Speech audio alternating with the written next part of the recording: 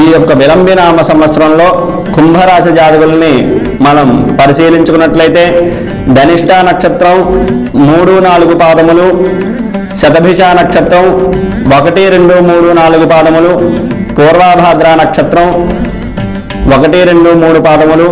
ఈ యొక్క కుంభరాశి ఎందును ఈ యొక్క కుంభరాశి జాతకులకి ఆదాయం ఎనిమిది ఖర్చు పద్నాలుగు రాజ్యబోధ్యం ఏడు అవమానం ఐదు ఈ రాశి వారికి గురుడు రెండు వేల పద్దెనిమిది అక్టోబర్ పదకొండు వరకు కూడా తులారాశి ఎందు లోహమూర్తిగానే తదుపరి రెండు వేల పంతొమ్మిది మార్చి ఇరవై తొమ్మిది వరకు కూడా వృశ్చిక రాశి ఎందు తామ్రమూర్తి కానీ తదుపరి ధనుర్యాసి ఎందు సంచారము చేయను.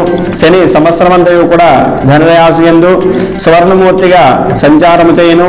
రాహుకేతువులకు మరి రెండు వేల పంతొమ్మిది మార్చి ఏడు వరకు కూడా కర్కాటక రాశి ఎందు అలాగే మకర రాశి ఎందు కూడా రజితమూర్తులుగా తదుపరి సంవత్సరాంతము కూడా వరకు కూడా మిథున రాశి ఎందు ధనుర్రాశి ఎందు కూడా సవర్ణమూర్తులుగా సంచారము చేయను.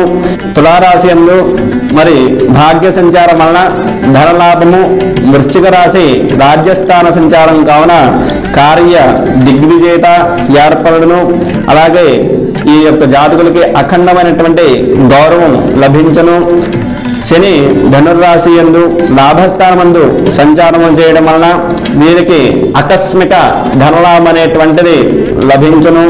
కేతువు మకర రాశి వ్యయస్థానమందు ఉండడం చేత ఈ రాశి వారికి మరి ధన నష్టం అనేటువంటిది స్వల్పంగా జరుగుతుంది. అలాగే ఉపాధ్యాయులకి సన్మానాలు అనేటువంటివి ఎక్కువగా జరుగుతాయి. వ్యవసాయదారులకి రెండు పంటలు కూడా చాలా లాభదాయకంగా ఉండును. అలాగే చేతి వృత్తి వారికి కూడా తమ తమ వృత్తి యందు నైపుణ్యత ఉండును.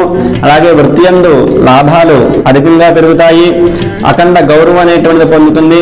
చేతి వృత్తుల వారికి కూడా లాభదాయకంగా ఉంటుంది. కళాకారులకి ఎక్కువగా సన్మానాలు జరుగుతూ ఉంటాయి. ఈ రాశి వారికి అన్ని రంగముల వారికి కూడా అఖండ ధనలాభము సన్మానములు కూడా ఎక్కువగా జరుగుతాయి. ఈ రాశి వారికి కలిసి వచ్చేటువంటి అదృష్టమైనటువంటి సంఖ్య ఎనిమిదవ సంఖ్య. వీరికి కలిసి వచ్చేటువంటి రోజులు మనం చూసుకున్నట్లయితే మంగళవారము శుక్రవారము సోమవారము వీరికి ఎక్కువగా కలిసి వచ్చేటువంటి రోజులు అలాగే రాహుకేతువులు దోష నివారణ సిద్ధ్యర్థం వీరికి రాహుకేతువులు ఈ సంవత్సరం దోషపూరితంగా ఉన్నారు. కావున వీరు దుర్గాదేవిని ఆరాధన చేయడం ద్వారా వీరికి ఎక్కువగా మరి దిగ్విజత అనేటువంటిది లభిస్తుంది. మీరు శుక్రవారం కానీ ఆదివారం రోజున కానీ ఆ యొక్క దుర్గాదేవి యొక్క ఆలయం వద్దకు వెళ్ళి రాహుదోష నివారణ సిద్ధ్యర్థం అని మరి ఆరు నిమ్మకాయలను తీసుకుని వాటిని మధ్యగా మరి మధ్యగా కట్ చేసి ఆ నిమ్మకాయల యొక్క రసానంతా కూడా పిండి ఆ యొక్క నిమ్మకాయ యొక్క చెక్కలలో పదకొండు చెక్కలను తీసుకుని ఆవు నెయ్యి వేసి దీపారాధన కనుక చేసినట్లయితే ఆ యొక్క రాహుకేతువులు దోషం అనేటువంటిది నివృత్తి చెందుతుంది.